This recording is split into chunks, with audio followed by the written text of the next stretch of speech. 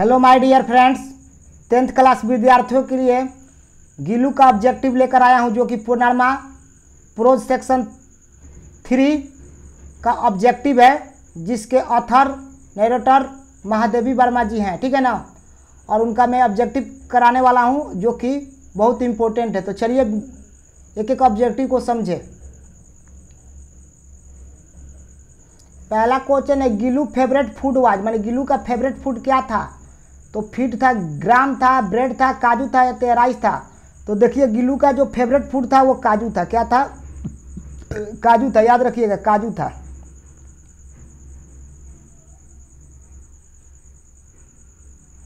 दूसरा the author told the Gillu seat near her अब लेखक कहते हैं कि गिल्लू सीट नियर कहाँ बैठ जाता था? तो टेबल के पास, प्लेट के पास, चेयर के पास या बेड के पास। तो याद रखिए, कहाँ बैठता था? तो हमेशा बैठता था प्लेट के पास। कौन लेखक के पास कौन बैठता था? गिल्लू बैठता था हमेशा प्लेट के पास, यानी बी आंसर होगा आपका। बी आंसर होगा, याद रखिएगा, बी आंसर होगा। The colour of Gillu, I was. Gillu की आँख की कलर क्या था? रेड था, ग्रीन था, ब्लू था या ब्लैक था? तो याद रखिएगा, उनका जो कलर था वो ब्लू था। क्या था? ब्लू था, यानी सी आंसर होगा, सी आंसर होगा, ब्लू था।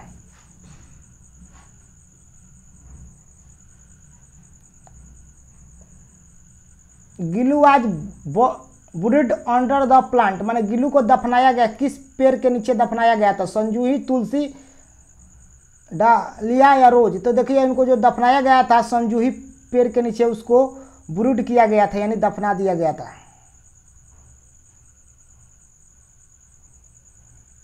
Who watched on the heater for Gillu माने हु वाचेड कौन देखता था? On the heater for Gillu. Gillu के लिए हीटर तो देखो कौन देख सर्वेंट देखता था हाउस मैनेजर देखते थे गार्ड गार्डनर देखता था या ऑथर देखते थे? तो ऑथर देखते थे। याद रखना दोस्तों डी आंसर होगा ऑथर देखते थे। ठीक है ना? Author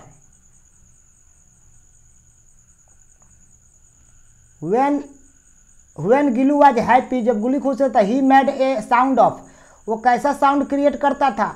तो चिक चिक चुक चुक चिक चिक काव काव की की तो जो साउंड क्रिएट करता था, याद रखना, चिक चिक का साउंड क्रिएट करता था, चिक चिक, याद रखिएगा, चिक चिक का वो साउंड क्रिएट करता था, मैंने उत्पन्न करता था।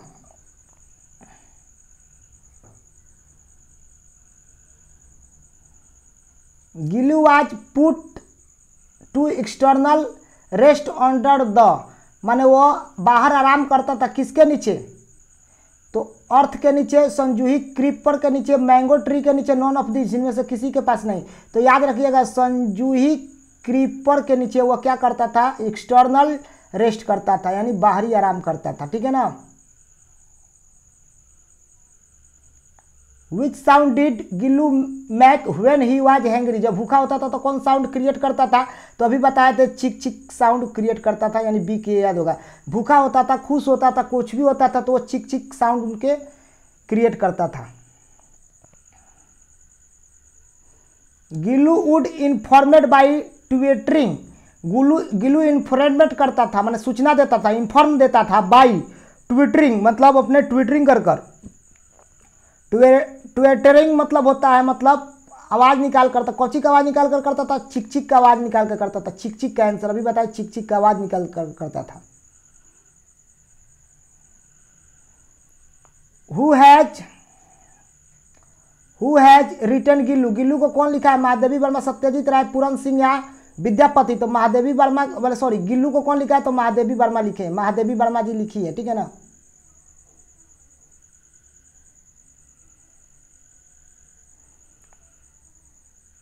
अकॉर्डिंग टू ए स्टोरी कहानी के अनुसार Gillu squirrel have life span. Life span मतलब कितना दिन जीवन बिताया? One year two year three year या फोर ईयर तो देखिए, कितना दिन जो स्क्वायरल हैव लाइफ स्पेन बिताया था तो वो टू ईयर बिताया था। टू ईयर यानी बी आंसर होगा। टू ईयर याद रखिएगा।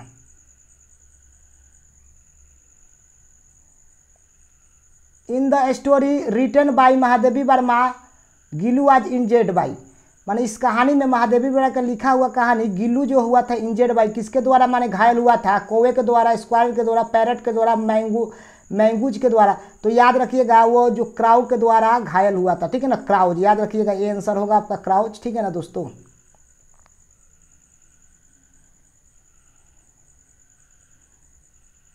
In the story Gillu the narrator cleaned wood of the baby squirrel and applied माने इस कहानी, इस स्टोरी में, गिलू कहानी में नैरोटर जो होता है, लेखक क्लीनेट किया, धोआ, ऊंड मतलब घाव को ऑफ़ द बेबी स्क्वायर छोटे बच्चों के एंड अप्लाइड और क्या अप्लाई किया, उस पर डिटॉल किया टूथपेस्ट किया पेंसिलिन किया, या नॉन ऑफ़ किया।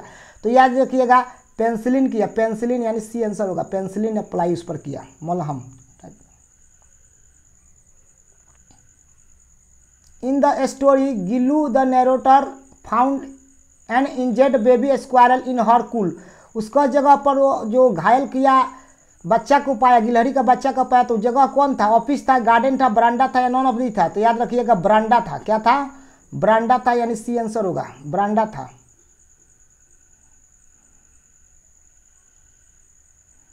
What was the favourite food of the Gillu Gillu का फेवरेट फ़ूड क्या था? मैंगो काजू नट्स नॉन ऑफ़ दीज तो देखिए गिलू का जो फेवरेट फ़ूड था, वो काजू था। क्या था?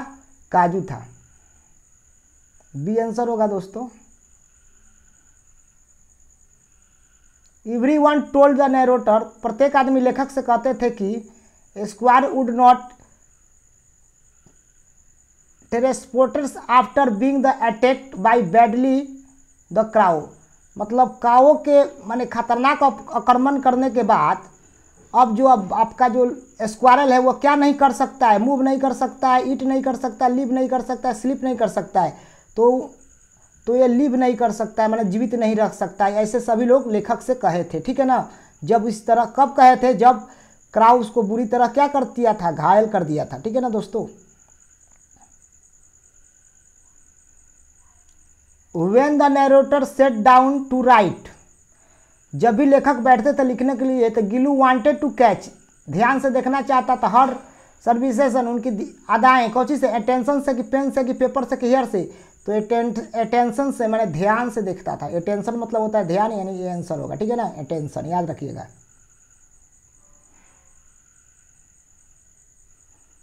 Gillu is about true friendship. Gillu is about true friendship, मैंने गिलू के जो ये कहानी है, अच्छी, ट्रू फ्रेंडशिप एक सच्चा दोस्तीगिरी है between human and being and the L and dish के, किसके बारे में? एनिमल के एलियंस के बारे में? माइक्रो ऑर्गेनाइजिंग या गोस्ट के बारे में? तो याद रखिएगा, ये एनिमल के बारे में है। ये मानव और मानव और जानवर के एक सच्ची दोस्ती के बारे में स्टोरी है, ठीक है ना? महादेवी वर्मा के अनुसार। Which of the following name was the given the given to the squirrel इनमें से मैंने कौन सा नाम स्क्वायरल को दिया गया? गुड़ी, गिल्लू, गिल्ला, गिल्लू या गिल्ला? तो याद रखिएगा गिल्लू दिया गया उनका स्क्वायरल का नाम, ठीक है ना? प्रॉपर नाम दिया गया कॉमन नाम से।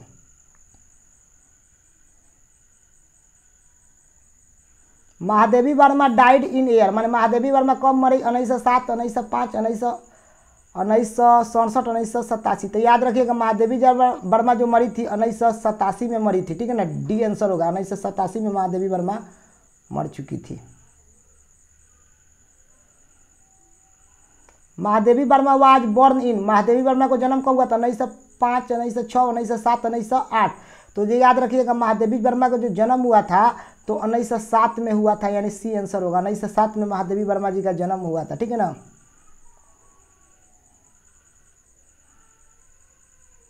Squirrel had life span of the bravely years माने कितने माने साल वह स्क्वायरल अपना जीवन बिताया था ब्रेवली माने बहादुर से तो दो one year two year three year four year तो याद रखना टू ईयर वह क्या किया था अपना जीवन बिताया था? कितना ईयर बिताया था? टू ईयर जीवन बिताया था। किसके साथ? तो महादेवी वर्मा के साथ। टू ईयर यानी बी आंसर होगा आपका to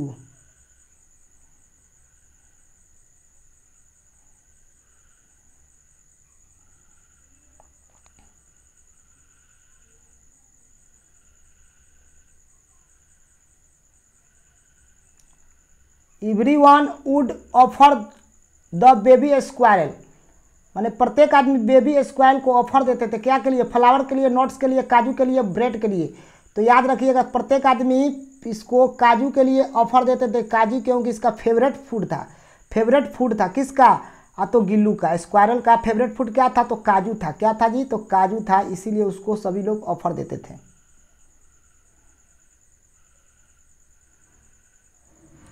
What was what was the common name of the Gillu इसमें गिलू का कॉमन नेम क्या था? गिलू सिरही गुल्लू या गिली तो देखो गिल गिलू का आपका कॉमन नेम गिलू ये था। ठीक है ना? गिलू का गिलू का कॉमन नेम गिलू था। ठीक है ना?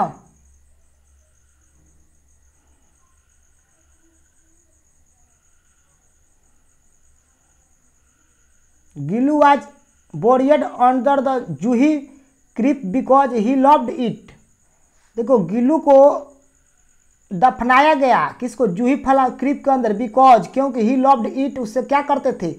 मोस्ट मतलब ज़्यादा प्यार करते थे। कौन ज़्यादा प्यार करते थे? महादेवी वर्मा जी जो थी ना, उनसे ज़्यादा प्यार करती थी। किन से गिल्लू से, ठीक है ना? तो इसीलिए उनको क्या कर दिया गया? उनको क्या कर दिया गया? तो उनको मस्ट किया मतलब मस्ट का यहाँ पर प्रयोग होगा। उसको इसीलिए उनको जूही क्रिप के अंदर क्या किया गया? बॉरिड किया गया। बॉरिड मतलब दफनाया गया, याद रखिएगा।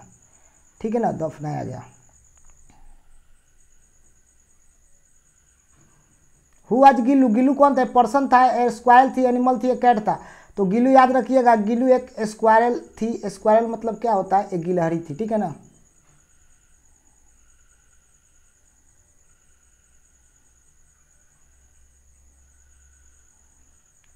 Everyone told the narrator that Gillu would प्रत्येक आदमी गिल्लू से कहते थे कि गिल्लू लिव इन जी जाएगी गी लाइफ विल नॉट लिव तो प्रत्येक आदमी कहते थे कि अब गिल्लू नॉट लिव यानी नहीं जी पाएगी. ठीक है ना? सी आंसर होगा नॉट लिव गिल्लू क्या नहीं हो पाएगी? तो प्रत्येक आदमी टोल्ड मतलब कहते थे लेखक से कि गिल्लू वुड नॉट लिव अब गिल्लू नहीं जी सकती है. ठीक है ना? यानी सी आंसर होगा.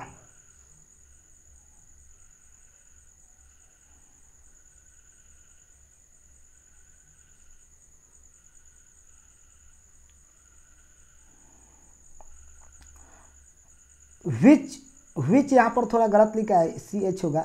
Which ointments was the applied the wood of the Gillu मैंने कौन सा ओनिमेंट मैंने कौन तत्वों को उस पर अप्लाई किया गया? कौन तत्वों को अप्लाई किया गया? तो तभी बताया था पेनिसिलिन था, इसी को अप्लाई किया गया था। अप्लाइड मतलब उस पर घाव पर विंड मतलब गिलू के घाव पर अप्लाइड किया गया। चीज़ क्या था? पेनिसिल था। यानी बी आंसर होगा, याद रखिएगा।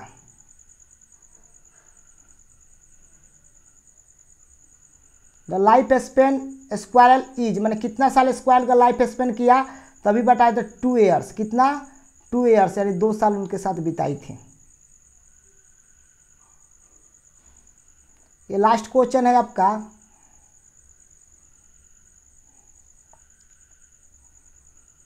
Gillu depart from the this world in this क्या था? तो मॉर्निंग था। क्या था जी? तो मॉर्निंग था, ठीक है ना? मॉर्निंग था। ठीक है ना दोस्तों? तो यह थर्टी का थर्टी आपका क्वेश्चन हुआ और इसका आंसर ए हो जाएगा, ठीक है ना? हम आशा करता हूँ कि वीडियो आपको अच्छा लगा होगा। Thank you watching this video share and subscribe have a nice day तब के लिए, तब तक के लिए बाय बाय